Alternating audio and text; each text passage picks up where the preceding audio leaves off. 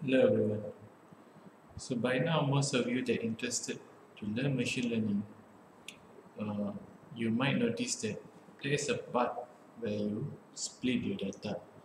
So the question is always why you split the data and how.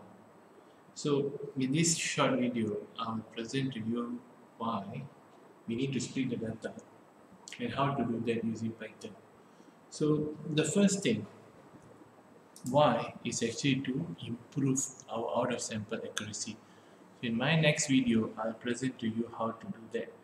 But for now, roughly, what is out of sample accuracy is mm, the percentage, see the percentage of correct prediction that the model makes okay, on data that the model has not been trained on. Means uh, you need to have a different data set to test your model okay let's say you test your data set on the data that you train it will not give you a very good out of sample accuracy.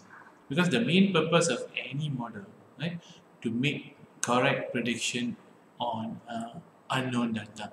Okay so let's start. Okay let's start in this video. So the first thing is we need a data set.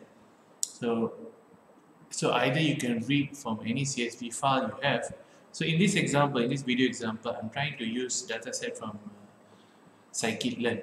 Okay, so the first thing is let's uh, you know import certain things. So I'm using scikit-learn, right?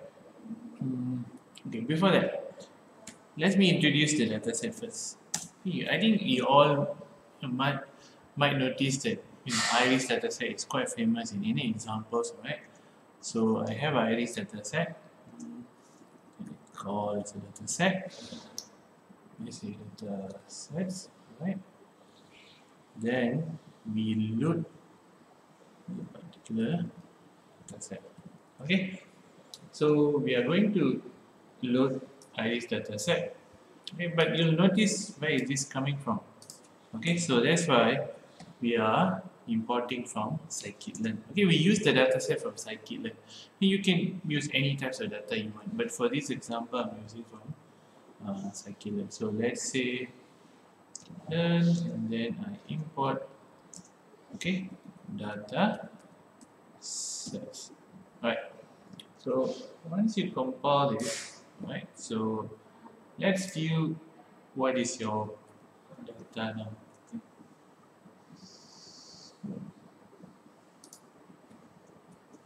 Okay, so you will have you know a data set that looks like this. The first thing is the data. This is an array. Alright, and then we have the target array also. The target is the class. Okay, if you notice target here is you know already normalized. So the target name is actually belongs to Sentosa versicolor. You know, you you will see a lot of examples for this because we are not focusing on that. We just try to split this data set right so let's continue with this. Okay. So in order for you to have a better view okay in order for you to better view so let's try to you know change this into a pandas data frame. So in order to do that I try to use my okay so the background or how to use certain uh, libraries of Python. There's so many uh, great videos and uh, tutorials out there you can actually refer to that right? So what I'm trying to do is I'm creating a data frame right? Uh, using so that you, we can have a better view. So pandas data frame okay? So what we have just now is iris okay? And we're going to use data if you refer you go through your iris data set you see data. Then the column is going to be represented by let's say my iris and I use the feature name for now. You know it makes a very good nice looking uh, tables features. I think feature. So this is what we have.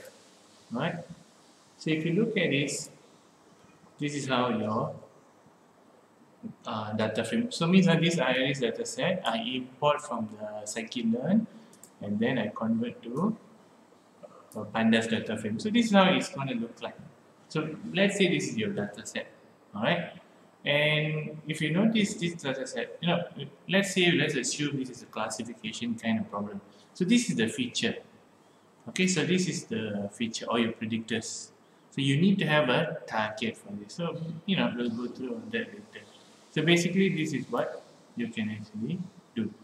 So the next, maybe, you know, we can have a few information on this. So let's see you want to check.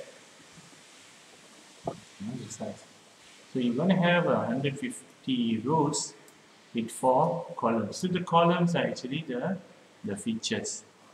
Alright, right? Okay, now let's try to split the data. So splitting the data, we're going to split the data into a training data set and also a, a test data set. Alright, so how and how many percentage depends on your literature or you know let's say for our case today we have maybe we split the data 80% into training and 20% into test. So what I'm going to do now is I'm going to use right? But before that before that let's say um, we create another data frame okay? Called you know let's say y okay so y is the data frame right data frame?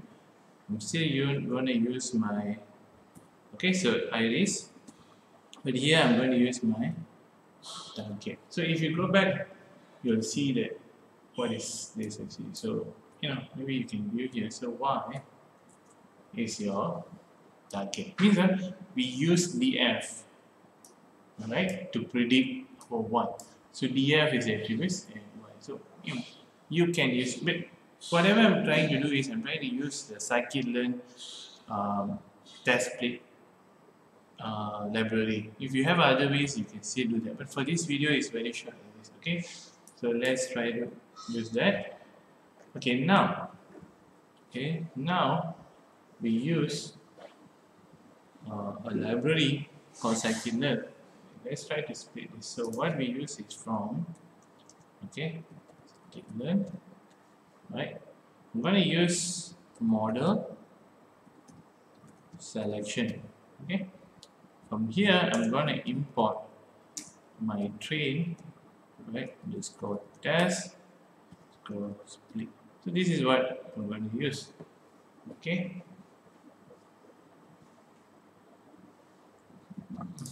selection right so this is what I'm going to use so based on this let's split our data set this time. So we have our main features obviously in DF and then our target in Y. So let's split them. So what I'm going to use X is the one I'm going to use for training. This is my features, right? Then I'm going to split my X. You know, if you are having, you know, if you're confused and things like that, you can actually, you know, even convert this to into X you know into x if you're interested. But it's okay. Then I'm going to split into x. Yes alright. Y then y is going to be train and then y going to be test. So these are the four uh, set that I'm going to split x. That is your feature. Okay you know to be easier just use this as x now. Okay this this x and this is going to be y. So this is going to be my uh, features. Okay my predictors and this is going to be my target. Alright my target. Okay. This is a very uh, simple classification control. Algorithms will come later. In my next videos I'll show you few algorithms that you can actually use. Alright so let's split this first. So we use the function train okay?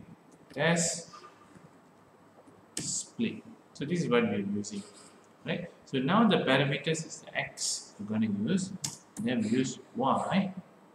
And then now the the most important parameters now is the test. So we use the test size. So means let's say you define your in your parameters your test size the opposite is going to be your training size test size. So the test size is from 0 to 1 right? So you convert let's say 20 percent. Let's say you want the data set is 20%, you convert to 0.2. Let's say 30% is 0.3. So, already splitting them. so I need to run this first. Then right? So you already define this. So so you know let's check few things. So maybe you're, you're not seeing what is happening. So let's check few things. So means of x shape right? So this is your for x and let's say for y okay so this is your x shape. Yeah. Okay let me show you better. Okay so let's say we have this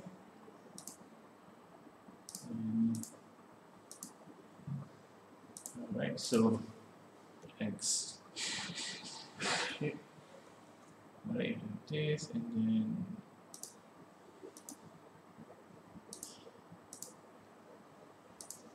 and have one shape okay. So means if you see your data set X shape is 150 uh, rows with four columns and Y shape is 150 rows with one column. So now after you split the data, let's see what happens. So means your data is like X train and also X test and Y train and also Y test. So you know let's see what is happening here. So you're splitting 80-20, so roughly 80%. So X train, right? Let's see the shape. Right. 620 and then let's say X test then we find the size is going to be 30. So means 80% of 150 is 120 then the remaining 20% will be your test data set. So basically this is one of the way that from there to split your data set. Alright, so I'm using uh, scikit-learn to split. You know, basically I use pandas to actually, you know, for you to easier or to, to view the data set better. So there are still others, but the most important thing here is why we need to split the data is to improve out of sample accuracy. So in my next video, I'll discuss uh, how and what is out of sample accuracy. Thank you very much. See you in my next video.